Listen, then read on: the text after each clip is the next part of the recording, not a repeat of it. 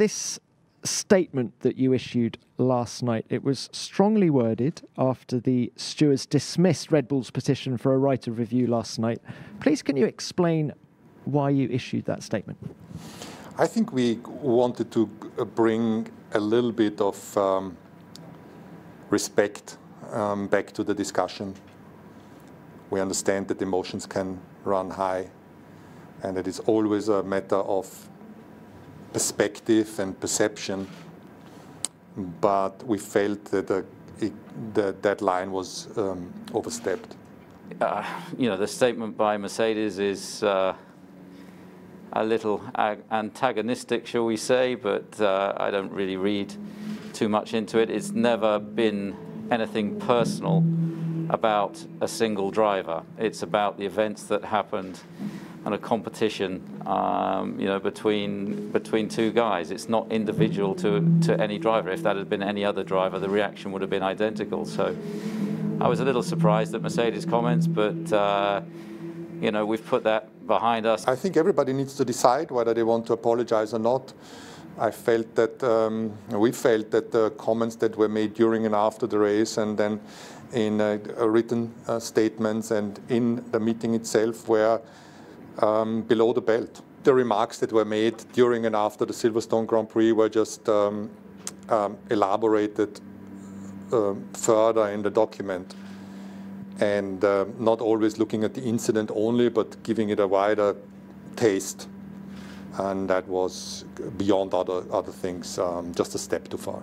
Well, I think, you know, within the submission, we talked about the process uh, of uh, you know approaching the stewards um, during the course of an event, and I think the FIA have obviously subsequently clarified you know the process for that now, which we're you know we're we're fine with and and pleased for that for that clarification. So uh, you know that was one of the main pertinent reasons. I think these things were said uh, uh, and written um, uh, where very emotional and uh, heated, and uh, probably uh, it's not it's not me for me to comment.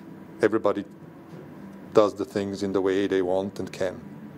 This competition is all about marginal gains and leaving low stone unturned. And of course, when you have an accident of that velocity and uh, impact, um, then of course you're going to make a full investigation. It is a very controversial um, incident um, that polarizes.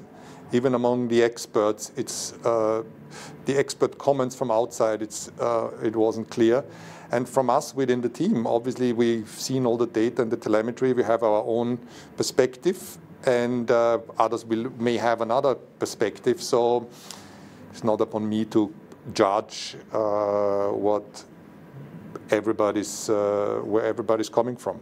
I think Formula One needs um, needs content um, and controversy. As long as it is, uh, it, it is around the sport, it can be quite entertaining. But there is a certain um, boundaries, certain boundaries that we that we need to respect, and uh, the sport should unite and not create more polarization, and especially in a, in a, in a sport that is not, that cannot be proud at that stage yet about uh, its diversity and equality. Um, we need, we are threading, a, um, we need to just get the words right, and uh, therefore let's, let's aim to de-escalate rather than to fuel.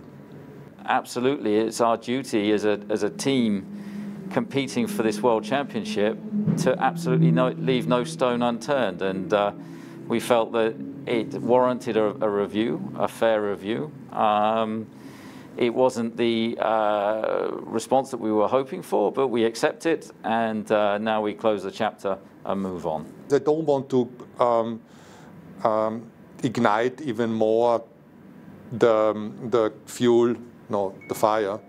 And the controversy, I think, work, what we need to do as sports team is to de-escalate and not create more polarization in the social media.